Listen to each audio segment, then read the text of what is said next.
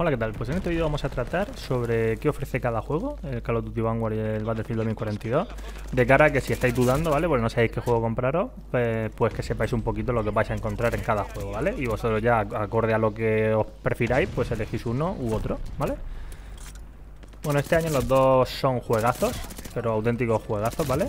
Pero tienen sus diferencias. Entonces, la primera de todas es, eh, si vas a querer jugarlo puramente online, el Battlefield es una buena opción de primera, ¿vale?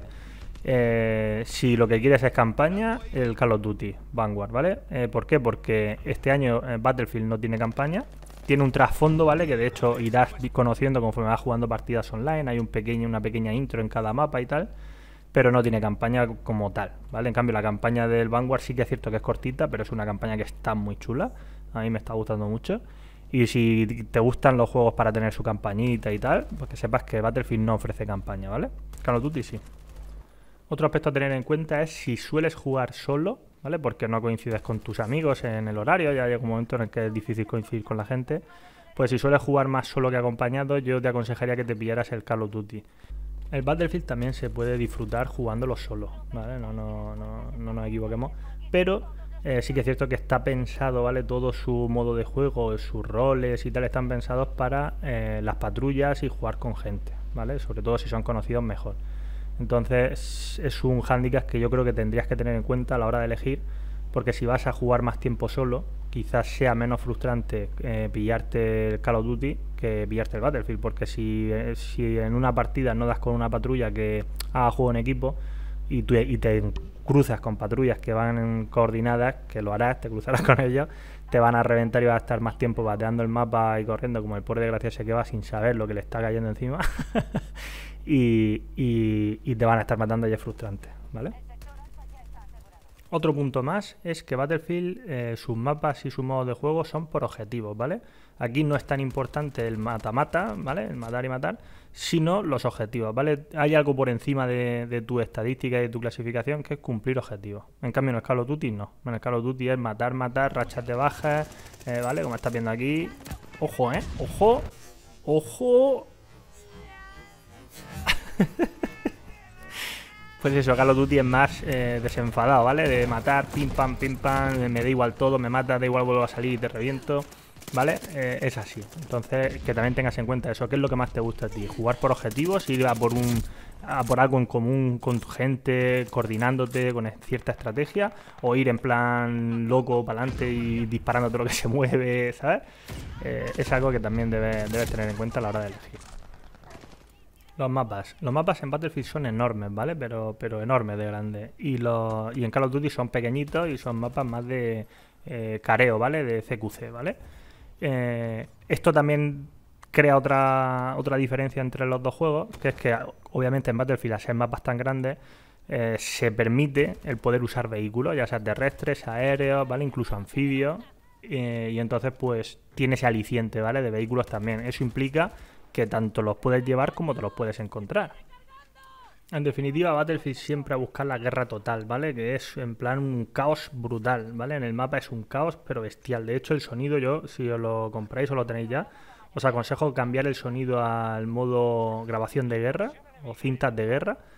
Que vamos, que es brutal cómo suena eso, ¿eh? es una salvajada.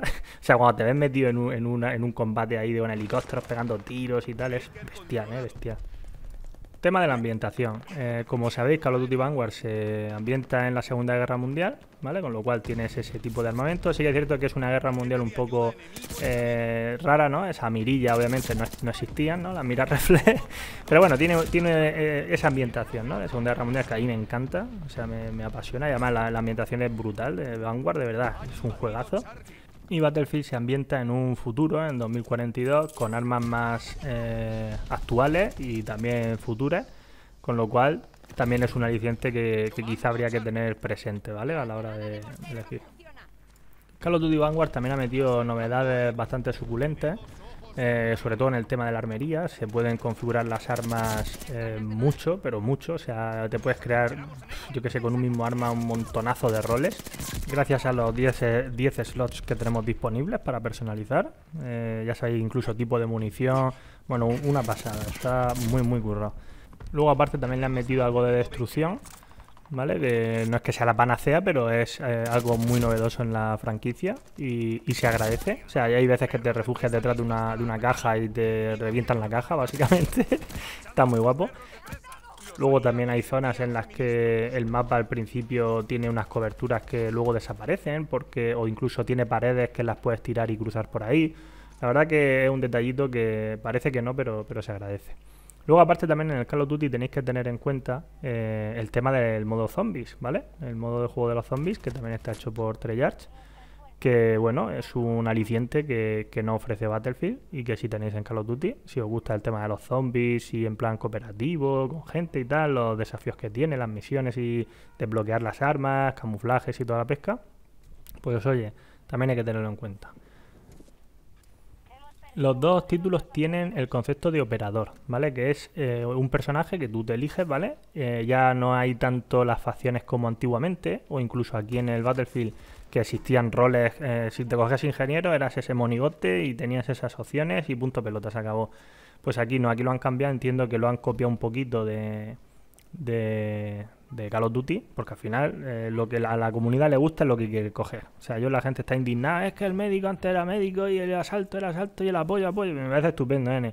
Pero, tío, hay que evolucionar los juegos, o sea, y todo lo que sea para mejor eh, tío, bienvenido sea. O sea, a mí me encanta poder cogerme a la médico eh, y llevar un lanzapepino, ¿sabes lo que te quiero decir? Porque veo que en esa partida hay mucho tanque, pero es que yo quiero curar a mis compañeros y mis compañeros sudan de cogerse antitanque, ¿sabes lo que te digo?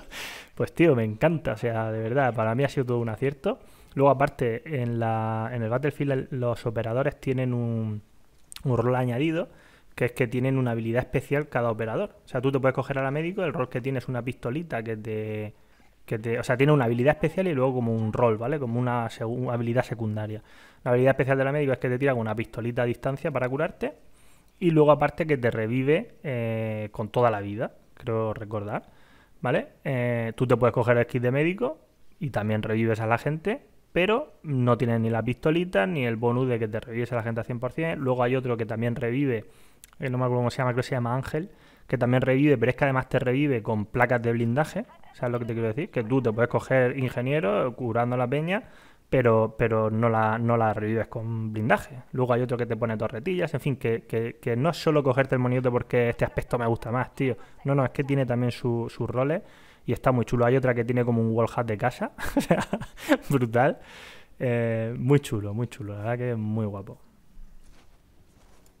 Otra de las novedades que ha metido Battlefield ha sido el modo portal, que es un modo en el que puedes personalizar eh, y crear tu propio servidor, eh, pues diciendo vamos solo con cuchillo o vamos solo con desfibrilador. Y además va a ser de la Segunda Guerra Mundial. Cojo de Battlefield 1942 o de Battlefield 3.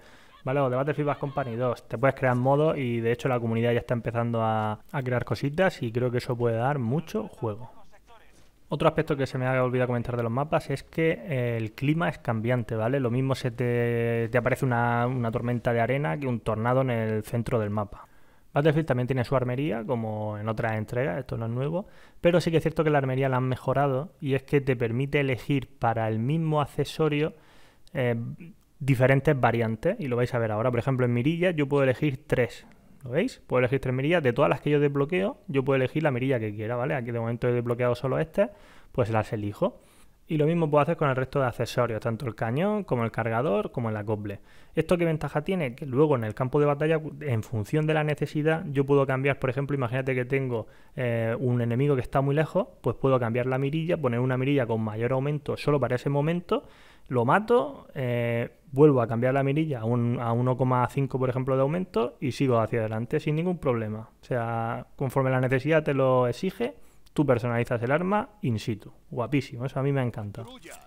Otra cosa muy chula que tiene este Call of Duty de este año es que puedes elegir el ritmo, que a mí me ha gustado mucho, de hecho, eh, ese tema, porque hay veces que sí que es cierto que cuanto más jugadores, en Battlefield, por ejemplo, hay 128 jugadores, que es un caos brutalísimo eso, en consolas de nueva generación, ¿vale? En consolas de Play 4 y Xbox tienes la mitad, creo que era, ¿vale?